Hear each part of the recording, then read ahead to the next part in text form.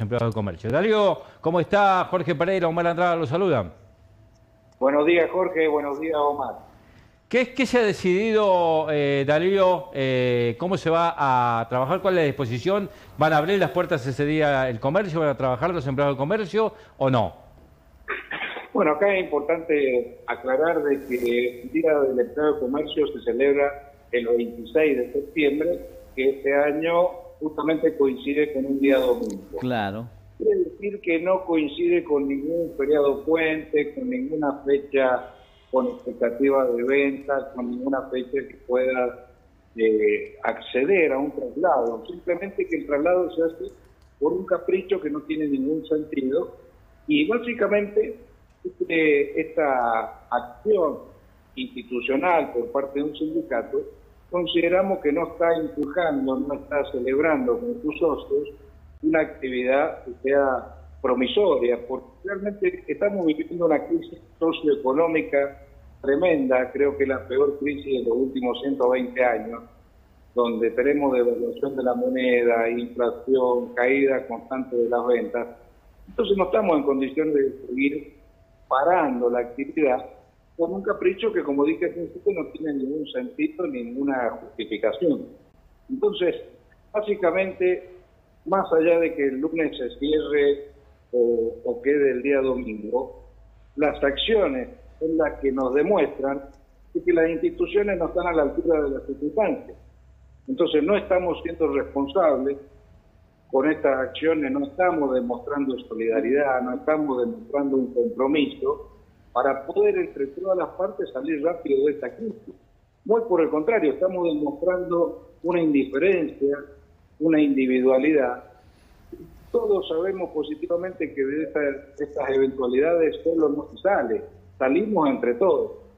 Entonces, tener un sector que quiera seguir dividiendo, que quiera seguir oponiéndose sin justificativo, lo que analizamos es que realmente no tiene ninguna consideración para con la situación social que se está viviendo.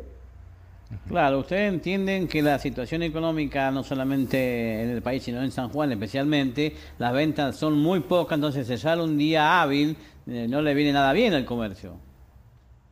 Claro, es que ni al comercio ni a la sociedad estamos inmersos en una crisis que todos lo podemos ver, tenemos una retracción en la economía, vemos los esfuerzos del gobierno por tratar de liberar las actividades, de poder salir lo más rápido posible, de ver cómo llegamos a fin de año. Estamos viendo los esfuerzos de distintas instituciones para poder entre todos sortear esta pandemia. Y por este lado vemos estas acciones que realmente no suman para nada, porque después me cerrar el día lunes, al contrario, eso me afecta a mí y afecta al empleado directamente, porque le está quitando las capacidades también de trabajo por un feriado, y realmente eh, no es que no lo festejen el lunes, es que cae día domingo. ¿Y cuál es la justificación que tiene el sindicato para trasladarlo el lunes? Ninguna. Entonces, si no hay ni siquiera una justificación, lo que tengo que entender es que hay una indiferencia, un desprecio a la sociedad, un desprecio a los socios, porque le estás quitando la libertad incluso de elegir al, al socio del sindicato. Entonces, con estas acciones no se jerarquiza, no se revaloriza, no se dignifica el trabajo al contrario.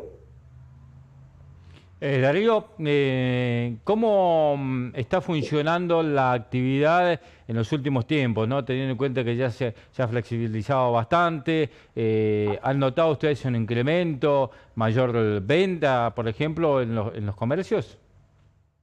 Bueno, desde el centro comercial, por primera vez en la historia de la provincia de San Juan, se están haciendo los relevamientos de comercio minorista.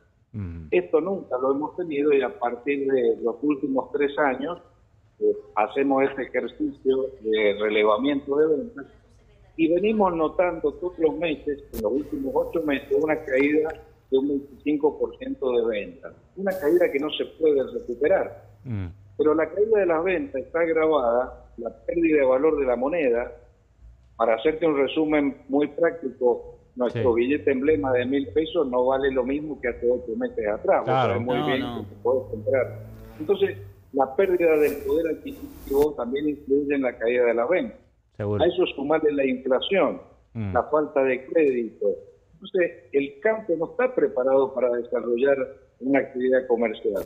Entonces acá se pierde el rendimiento, pierde la capacidad de ahorro y esta retracción en la economía es de la que tenemos que salir rápidamente. Y para salir rápidamente, todos los sectores tenemos que colaborar, hacer un esfuerzo, por lo menos en esta eventualidad estemos juntos y cuando la, cosa se normalice, bueno, tendremos la herramienta para poder dirimir nuestras diferencias. Pero hoy no es tiempo de dirimir diferencias, hoy es tiempo de salir adelante en esta emergencia. Claro. Darío, ¿tienen previsto conversar con la Subsecretaría de Trabajo para ver qué va a pasar el próximo lunes?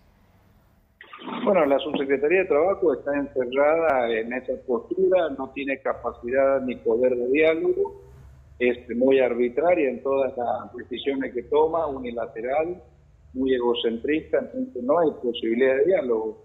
Solamente han informado de que van a tomar esta acción sin consultar a nadie, haciendo referencia a que el día 26 se pasa al día 27. Sabiendo que en el histórico muchas provincias, depende de, la actividad de cada provincia, se va cambiando el día del empleo de comercio, como por ejemplo las provincias turísticas, como otras provincias que tienen grandes eh, comunidades eh, comerciales. Y San Juan no tiene esa característica. Entonces no está justificado el hecho de pasar el, día del empleo de comercio al día lunes para cerrar porque sí.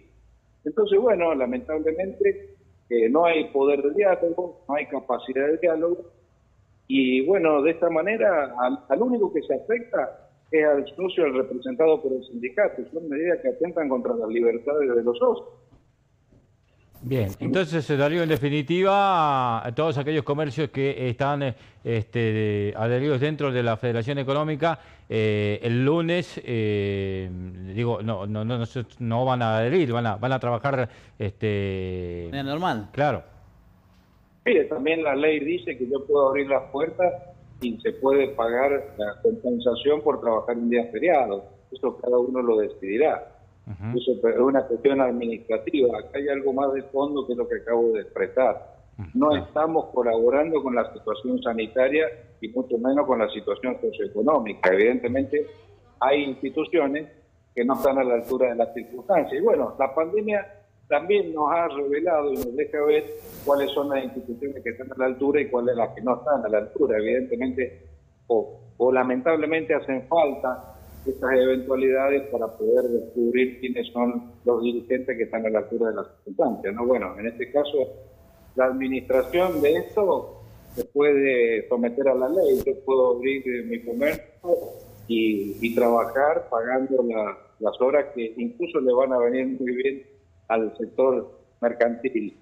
Y si no, bueno, si no tengo posibilidad de pagarlo, bueno, cada comerciante decidirá. Pero es muy lamentable que se tomen estas medidas en, los momentos que estamos transitando. Muchísimas gracias, Darío, por aclararnos todo este, este tema. ¿eh? Le, mandamos un fuerte abrazo.